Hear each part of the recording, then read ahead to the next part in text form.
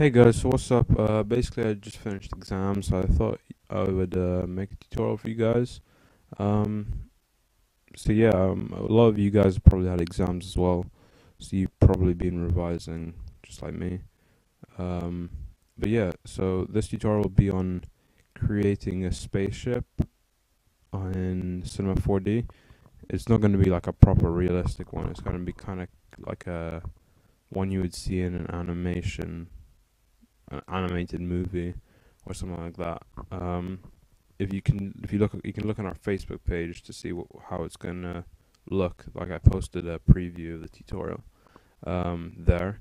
So yeah, like the Facebook page and follow us on Twitter. So yeah, let's get started. Now, you're gonna start by making a cylinder, and you can obviously decide on the radiuses for it depending on how the scale you're going to want to make the object. I'm just going to go with 100. Oop, not that big. That's not 100. There we go. Um, the height, you want about, I don't know, like, let's, I don't know, you want to do it kind of by, by sight. Um, so I don't know, about 290 maybe. Yeah, that looks alright. Um, height segments you want to pull them up. So when we smooth it it's gonna look look even better basically. And rotation segments I don't know we can turn them down to like 20 we don't need more than 20 rotation ones. Um, because this is gonna get squished the top. Um, so yeah now you want to add a taper. You can do that by going there to this weird kind of bend thing and holding down and clicking taper.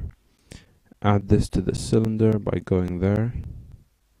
Um, now you want to make the taper the same height as your cylinder. So I put a height of 290. So you want to make sure you're doing the y-axis, which is the middle. So do it like that. There you go. Um, strength turn up to exactly 100% because you don't want it to you want it to confine into one dot. And we'll you'll see how we kind of flatten it a a tiny bit later on. Um, so yeah. The curvature you want I don't know maybe you can kind of choose how you want the how how realistic you want the spaceship. I guess you could make one of those like alien things uh, can't, can't remember what they're called, but you know those. You know what I mean. Um, or you, but for the spaceship, I'm gonna choose about about there.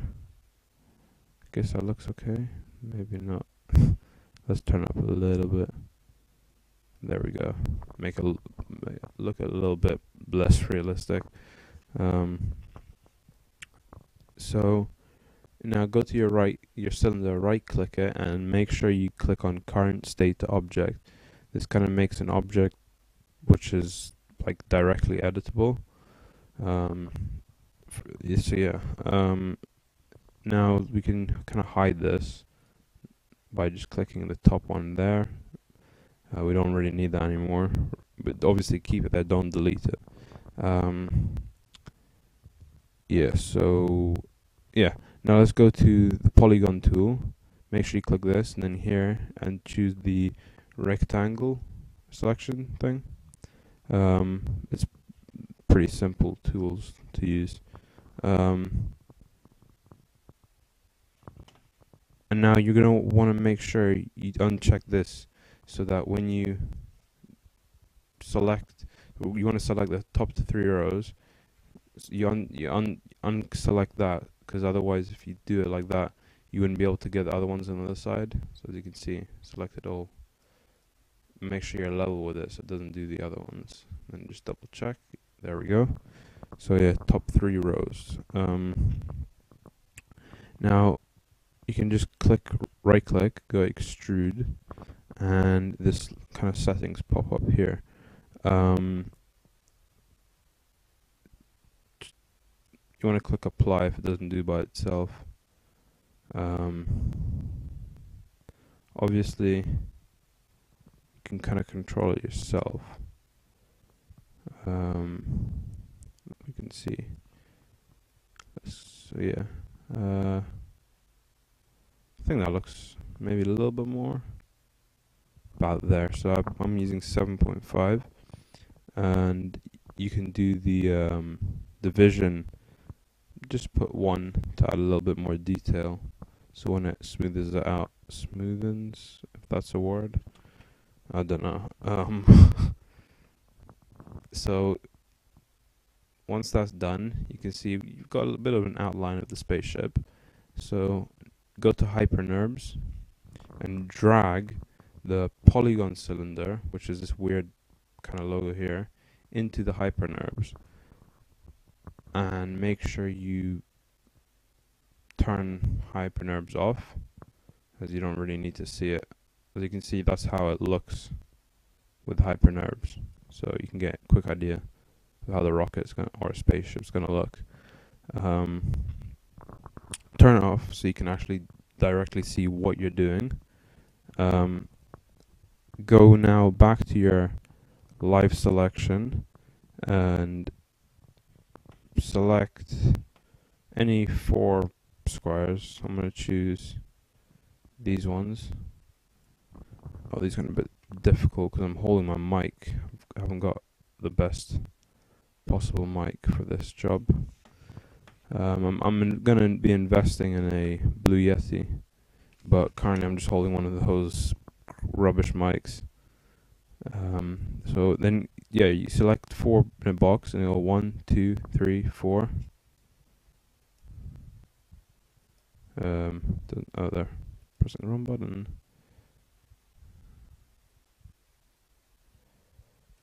Uh, I'm not gonna bother doing it. I can't really do it with um, the mic I'm holding. So just select those four, and you guys can actually skip the one, two, three, four, and then do another one here, and then skip another four and select those, and skip another four and select those until you've got four looking four windows um, for you to use. So then you want to go to the right click and go to extrude inner wherever that is. And you want to take the offset to about I don't know um, you don't want it too much. You want it about there. Three I guess. That looks alright uh, you can go on the side view for this part.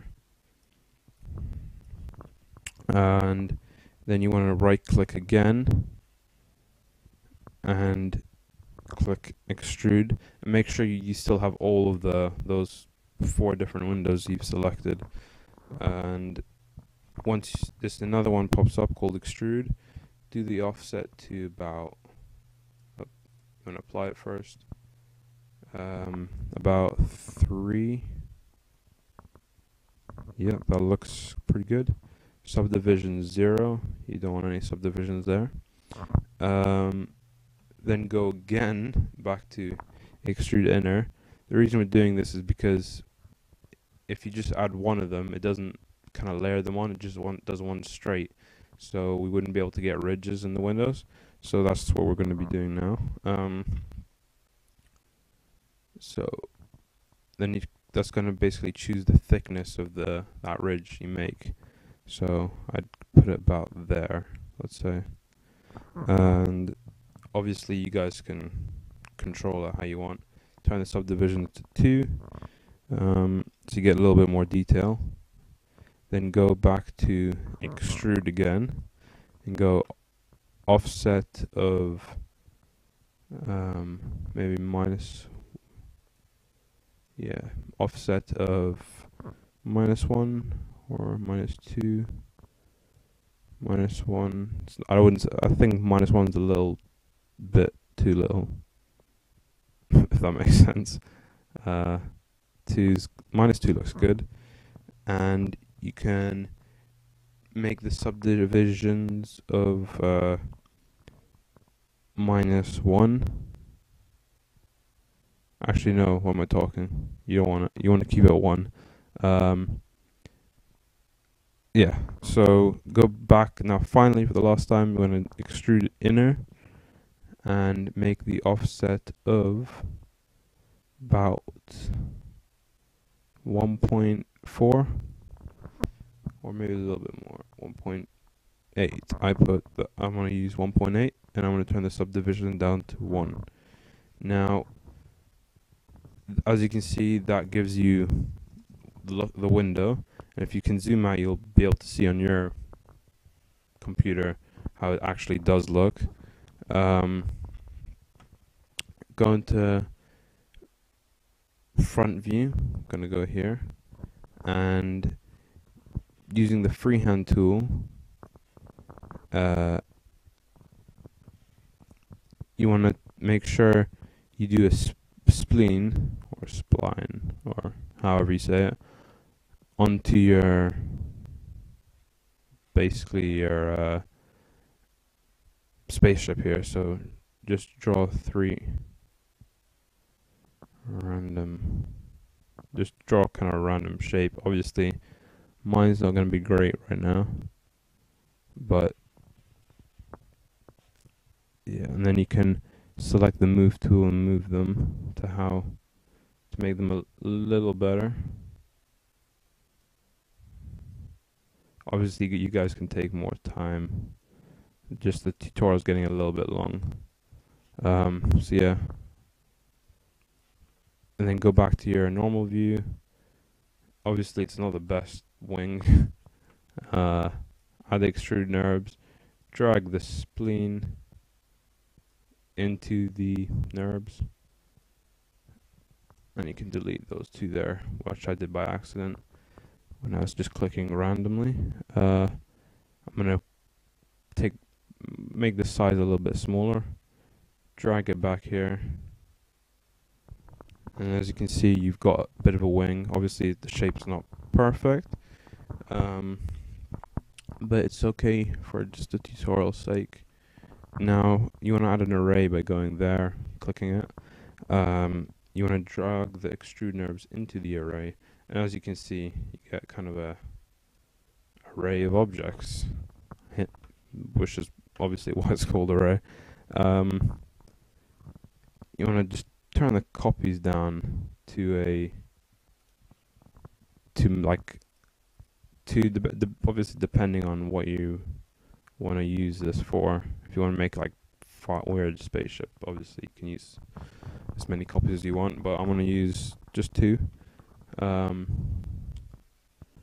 as you can see it's kind of looking alright now uh, bit of a spaceship and you can now Mm, if we got time, uh, I'll do it quickly. We can add a cylinder to make the kind of bottom of the spaceship, you know, where all the ga the fuel comes out when it flies. Um, that's with the hyper NURBS. Um, just drifting off there. Uh, so this will be where all the fuel comes out, and this, where is it? Um, there we go. Yeah, that's that's the cylinder we've just added, and make sure that when you when you position it, you want to have the uh, the height not too sorry what am I saying the radius about you don't want it to be as big as the actual thing. So I'd say about 40 and maybe the height I don't know height you don't really need the height that much just a little okay maybe a little bit sticking out um, about there should be fine. And make sure you just have no caps um, so you can actually see the hole in there. And turn the rotation segments down to I don't know about 10 and maybe the height segments to 10 as well. And hit that hit C to make it editable and choose the polygon tool and the rectangle selection and select alternate altern alternating rows. Obviously I'm not going to be able to do this with my mic. Oh maybe no. Okay yeah basically just select alternate rows uh, of the cylinder so starting from this one miss that one go that one you know what I mean? And then when you do that so I'll just do the bottom row uh, right click and then go extrude and then make the offset of about 3 I'd say. 4 is a bit much so just there. I want to use 3.1 and then put this into your new hyperNURBS and you'll see it smooth smoothens out on the when you've actually done alternate rows. And now you can check all the hyperNURBS and you've got yourself a decent looking spaceship. Um, obviously that doesn't look great but you can just play around with that. So yeah thanks for watching. Hope you enjoyed the tutorial. Um, it's the first time I've been back for a while. Um, expect more tutorials coming soon. So yeah thanks for watching and goodbye